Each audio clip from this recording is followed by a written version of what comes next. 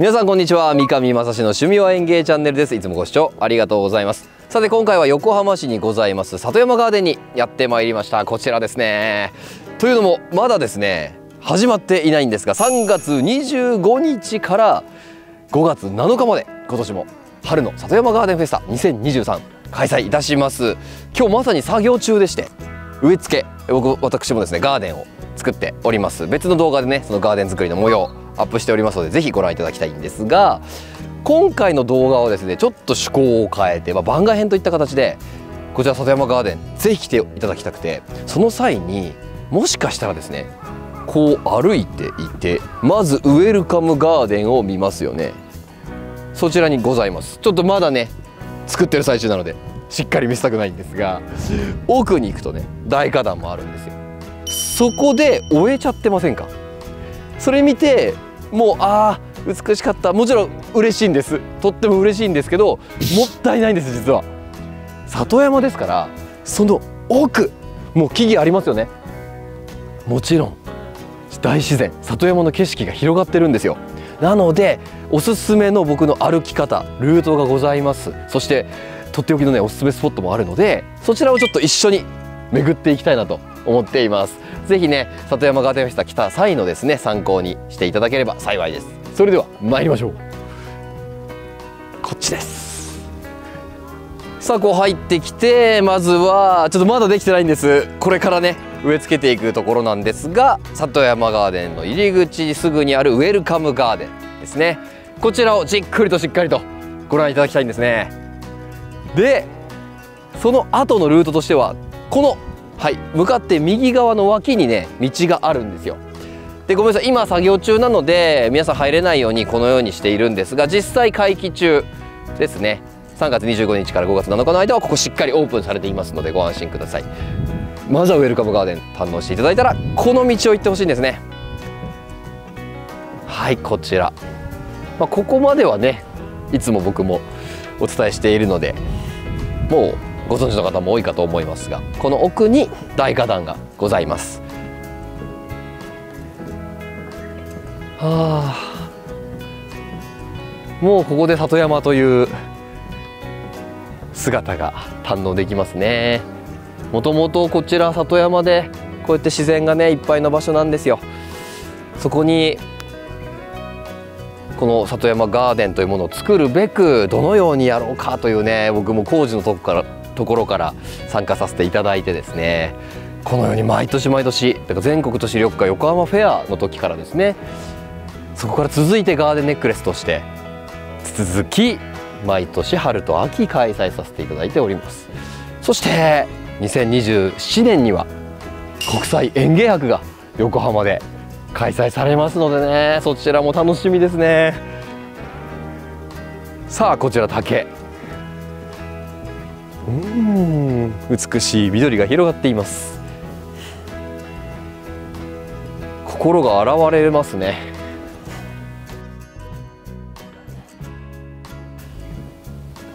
でそうなんです。本来ならばここで大花壇がねこちらにございますのでわっと見ていただきたいんですが今回はまだ作っている最中なのでさらっと。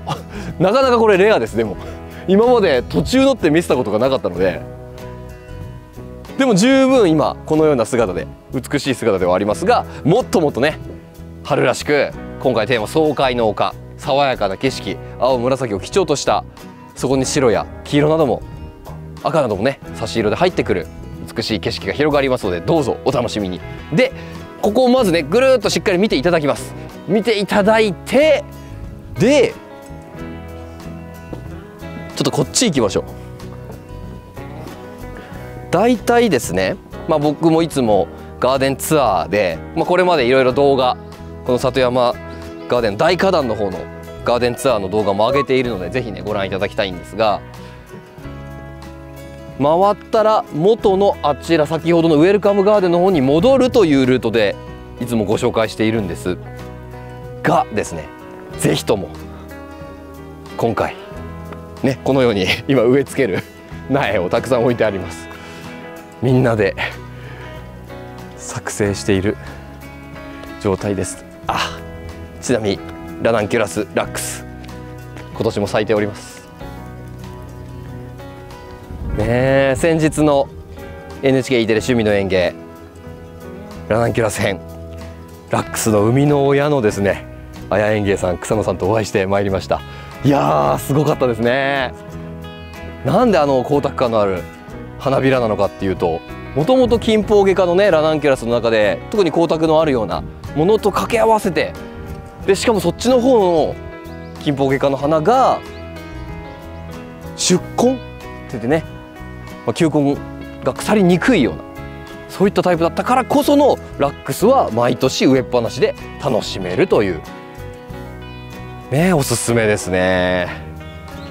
で今までってそっち行ってたんですよ。ね。そちらからぐるっと行ってたんですが実はここまっすぐ降りてきた形です。もちろんぐるっと回ってきてだから戻ってこっちに来てほしいんですね。でこのまままっすぐでこっちにももちろん美しくこのように景色作っております。まだ途中ですよ。金魚そなどもね入っていきますから。でこっち行きましょう。はいおすすめスポット1実はここで休めます。このように少し傾斜になっているんですが芝生の広場になっております。ここでイベントなどもね開催これからまたねしていく予定でもありますので。でどなたもですねここでのんびりと会期中過ごすことができます。でもしでしたらレジャーシートを持ってきていただいてここで座ってねのんびりされるのもいかがかなと。ましてこちら桜も楽しめます。桜が咲きますのでお花見もできますからね。是非会期中桜が咲く季節にはこちらも来ていただきたいなと。ではい実はここ進めるんです。こっち来ることができるんですよ。あこっちあんまり行っちゃいけないのかなって思って皆さん戻られる方多いんですけどいいんです。こっち行きましょう行きましょう。いよいよ山らしくなってきましたよね。里山ですから。もともと植わっているこのように美しい樹木が。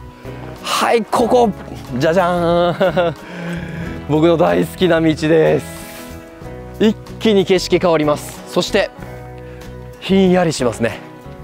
あー木陰になっている。空気が澄んでます。木々が出す美しい酸素を。もう思いっきり吸い込める。はあ。最高に素敵な場所ですよ。なんかもう言葉いらないですね。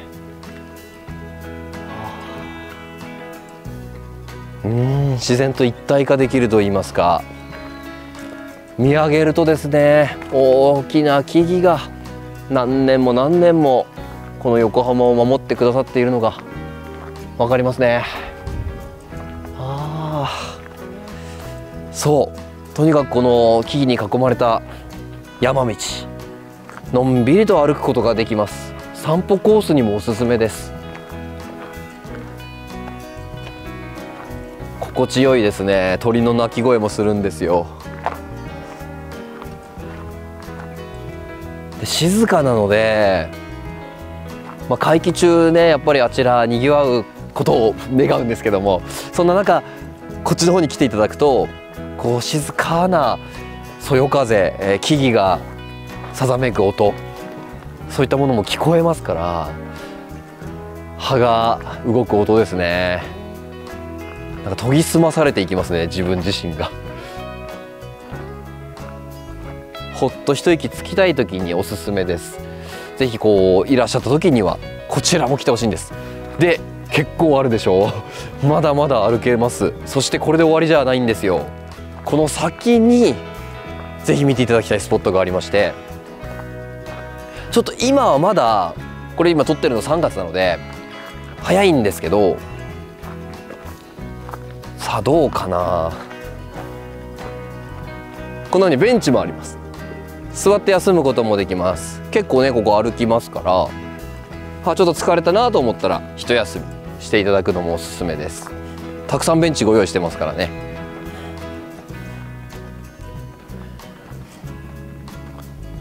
まあ山と言ってますがそんなに傾斜が厳しいわけではなくこの歩く道。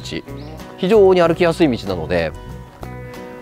さあそして足元を見るとこの辺ではどんぐりがたくさん落ちてるんですよ。木からね。落ちたどんぐりがたくさんあります。まあ、お子様と一緒にねぜひいらしていただいてその際にはどんぐり拾い。うちの子もそうなんですが止まらないですよね。オッケーたくさんほらここはパラダイスですよ。楽しいですよね。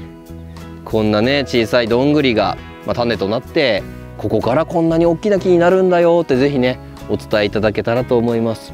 こういった小さい種がこれだけ大きくなる力を持っているんだっていうね。すごいことですよね本当にね。さあそしてこちらを抜けていくとはい広がってまいりました。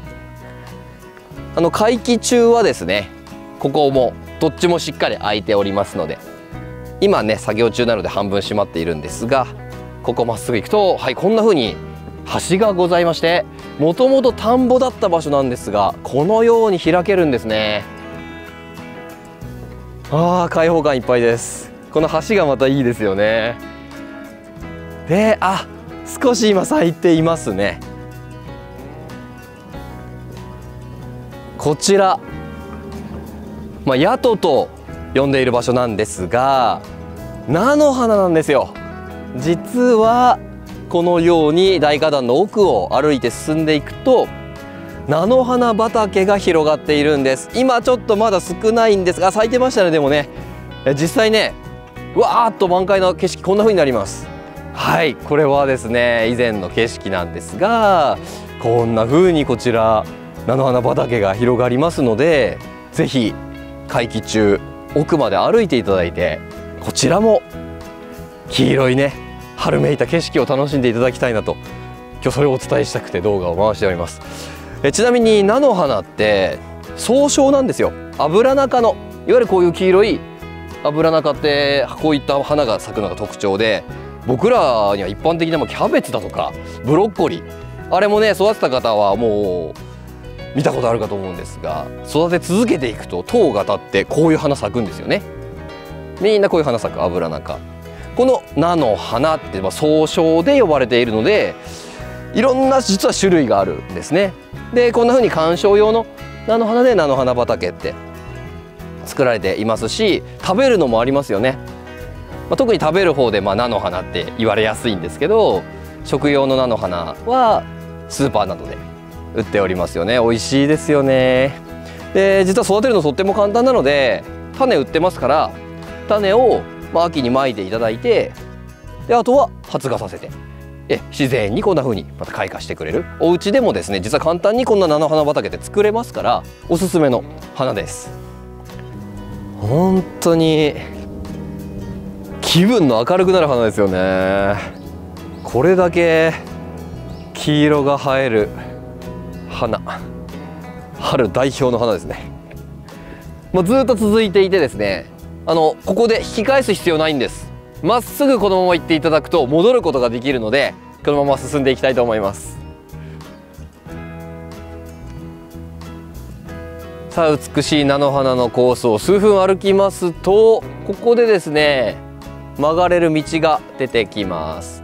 ただこのまままっすぐ行くとあちら行くとですねフォレストアドベンチャーそしてトレイルアドベンチャーというですねアスレチックを楽しめる場所にもつながっておりますのでおすすめです。でここ曲がり道あるので大花壇に戻るにはこっちに曲がっていただくとですね戻ることができます。なので引き返さなくていいんですよ。こちらもまた里山らしい木々に囲まれた道を進むことができます。これから木々がですね春新緑を出して芽吹いていく様子もですね楽しんでいただけます。枯れ木も美しいですよね。改めて思いますけど樹木ってこう葉を落として寒い冬を乗り越える樹木はたまたこのように緑をですねずっと残して常緑常に緑って言いますが冬の間も葉を残して冬を乗り越える。植物って乗り越える時に選んだわけですよね。落葉させるってことは光合成をやめるわけなんです。なのでもう完全に寒い時期は眠るんだと、まあ、完全休眠ですよね、まあ、バラであったりアジサイなども葉っぱ全部落として冬寒い冬を乗り越える。じっと耐えるわけです。一方葉っぱを残している植物。冬の間も葉を残している植物っていうのは光合成は続けてるわけなんですよね、休眠気味には活動は緩慢にはなりますけど、ま、常にしっかり光合成して栄養を作り出して省エネで生きているっていう。ねすごいですよね。だから植物によってそのような生存競争といいますか姿で生きている。それによって作業っていうのが変わってくるわけですよ。なのであの基本的に植物のストレスのかかる作業摘心あの剪定とかですね。切ったりとかあとは植え替え根、根をダメージ受けちゃいますから植え替えの時って。そういったものってすぐに復活できるように生育期ですね。元気に育っている時期に、まあ、基本共通でやった方がいいよっていうことなんですけど落葉樹ですね。それこそバラやアジサイって冬に植え替えましょうって言いますよね。完全に葉っぱも落としてもう休んでる。眠ってる完全休眠の状態なので根っこにダメージ受けたりしてあとは切ったりもね剪定したりしても大丈夫なんですよ。ねだからこそ落葉樹って冬にもそういった作業おすすめですよっていうふうに冬の剪定であったり冬の植え替えっていうのが出てくるわけなんですね。まあ、そのように考えていただくとあれこっちのこの植物ってどっちだったっけって悩むと思うんですけど、まあ、常緑樹落葉樹っていうことで木の場合ですねより考えていただくと分かりやすいかなと思いますさあそんなこんなで話しているうちにそちら見えているのがフォレストアドベンチャーですね。アスレチック。もう本当に子供も大人も楽しめる本格的なアスレチックのアドベンチャーになっています。僕ももちろん楽しんだことがあるんですがもう最高です。もともとね冒険大好きな男でして。人生冒険だと思ってる男なんで。冒険者というので冒険ブルーをやっておりました。ですので冒険したい方はもうぜひ最高に楽しめますよ。マウンテンバイクを借りてねこの山道を自転車で走るということもできますからね。さあそしてはいそうなんです。大花壇に戻りました。いつもガーデンツアーの時に伝えているコースってこっちから戻りましょうとお伝えしているコースなんですよ。で今みたいにぐるっと回ってくるとやはりここに戻ってくることができます。でこちらにですねまっすぐ行きますと入り口ウェルカムガーデンに戻ります。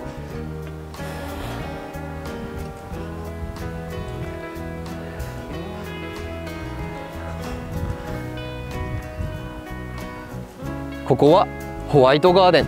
白い花壇になっています。まだね作成中ですよ。なかなかレアな状態。ポット内の状態です。植わっておりませんまだ。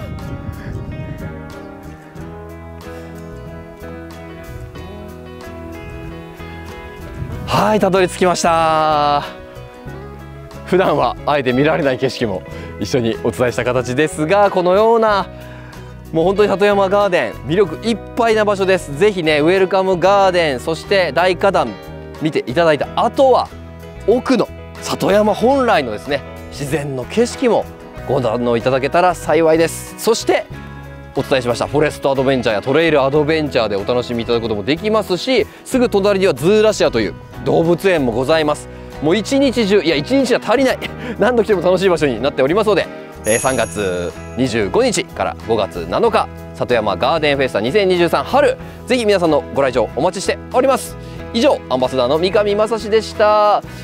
ぜひグッドボタンチャンネル登録よろしくお願いいたします。ありがとうございました。